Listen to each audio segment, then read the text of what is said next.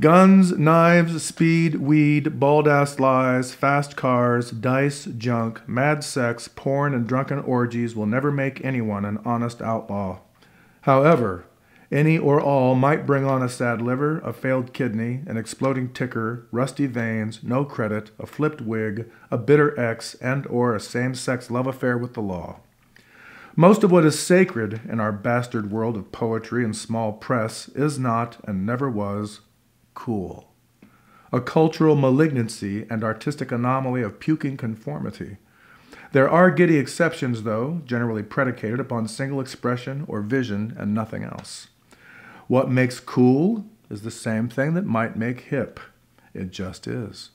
Like Levy of Cleveland, simply who and what they are, outside the margins, and Maverick by necessity, whose only victory might be to declare what would be their genius all those that follow with their nostrils flaring up their false gods' fetid asses in search of lost cities are foolish fashion mongers pressing themselves into unforgiving cliches.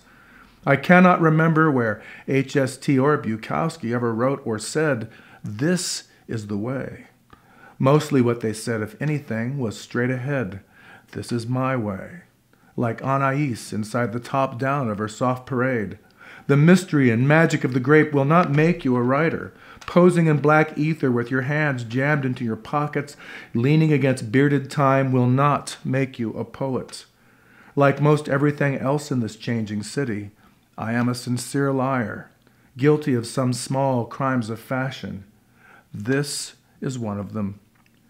A low rider on the apocalypse, haunted by long haired dreams of being born again as a rock star. Honestly, I don't know what makes a poet, but they are among us, a little outlaw dancing in every one.